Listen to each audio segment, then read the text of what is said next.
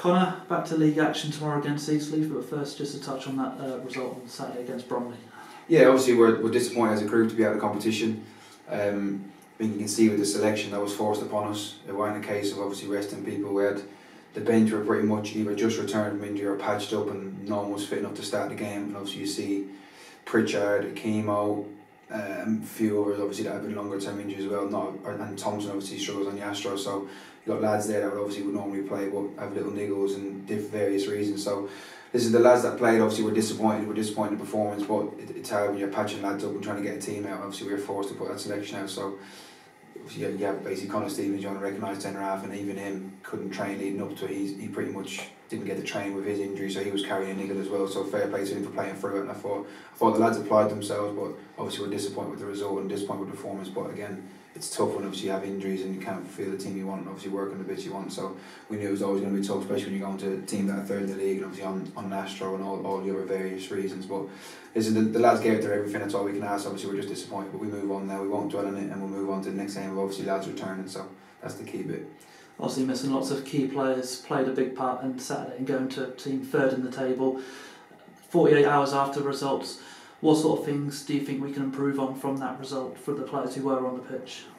Uh, listen, it's hard. I mean, you, you change any team in the top seven in, the league and change eight, seven, eight or not regular starters. Obviously, everyone's going to struggle. So we um we'll have luckily we'll have players returning back into the team going ahead tomorrow. So we'll have a more normal if I, if we to use it to use the word that we obviously can use. So be more usual team that we probably would usually select. So we know obviously the different the difficulties that.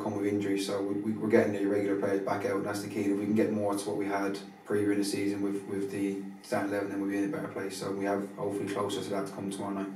I guess one positive to take from Saturday is seeing the returns of Nicky, Gorms, and Freeman. How good is it to get those sort of key players back into the squad? Of course, it's brilliant, isn't it? You don't, you don't want them free sat on your bench, do you? So even that shows they weren't quite ready to start, but with every minute they played, obviously it's good to get them the three one minutes coming off the bench, so that means they're closer to start. And so Nicky may be in contention now to, to maybe be in a conversation to start games. Obviously he's built up gradually over the recent few games. So with Gorms and Frears, it's good to get the minutes. So we'll keep trying to build them up as best we can in, in leading into the last few games of the season.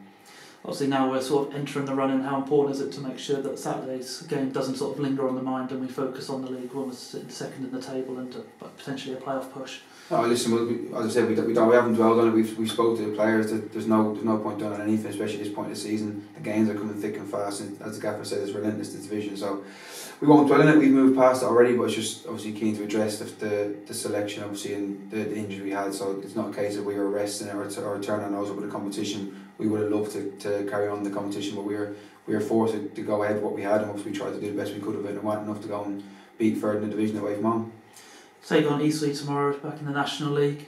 What sort of challenge can we expect from them tomorrow? Uh, it's their front two. We saw when we played them away earlier in the season. Their front two are potent when they get a chance. Um, the new manager gone in, they've done brilliant. They've picked up since the new manager gone in. Obviously, it's no surprise it does tend to happen, but they've done a bit more more organised. And to be fair to McCallum, he just keeps on scoring. We know that he's a, he's a seasoned player for the level, and he scored a lot of goals. And himself and Quigley have been a real problem for the back line. So it'll be no different tomorrow night. We our lads know what, what's what's going to come with their physicality, and obviously you've got to keep them out of the box because fair to McCallum, he scores a lot of headers, so we've got to try and defend that box as best we can and keep them away from a goal if we can. And back at the Hive tomorrow, Dean gave a bit of a rally cry after on the interview on Saturday. How important is it for the fans to come down to the Hive and back the Bees? Of course, it is massive. Listen, we had a great following Saturday, and we're very thankful for the ones that made the journey down. Um, obviously, last Tuesday, we, know Tuesday nights are obviously tough, but if we can get even more than we had last Tuesday, it helps. Any sort of atmosphere obviously helps the boys to drive them over the line. So if anyone come down, it's a massive part of the season for us. And obviously, with with the, the squad being stretched thin, it just gives us an extra one percent for each player. So it makes a massive difference for us. And obviously, we've already touched on about the, the injury crisis we've sort of got going on in the minute. Did everyone who played on Saturday manage to get through that game fine? And is there any other updates you can give us? Yeah, listen, Connor Stevens obviously had a reaction. He um he had to, he had to play with a niggle, so that's that's the position we were in. We, we didn't have the luxury of playing even eleven fit players, so we'd obviously monitor him as we go, and we've got hopefully players returning that weren't available Saturday, and, and obviously the players that did come on are a little bit even closer now fitness wise. So it's, we're slowly getting there, and we're hopeful that we'll have a full full strength squad barring one or two coming in the, in the next week or so. So that's the plan. Obviously, we've got to build up to that. Make sure we don't overuse players that are just coming back and set them back even further. So it, it's a, it's a balancing act, especially when you obviously we're in a rush to get players back, but also we don't want to give them long, sort of long term damage. So we're kind of just feeling what we can at the minute. Obviously getting players by, but thankfully it's our last Tuesday game for for a little while, so it gives a bit of respite after tomorrow and Saturday. So it's a big week for us. Get through these two games, do the best we can, hopefully pick up six points, and then we can have a little bit of a, uh, a respite for a week and obviously see where we are with injuries. Connor, thank you for your time. Cheers, Lewis. Thank you.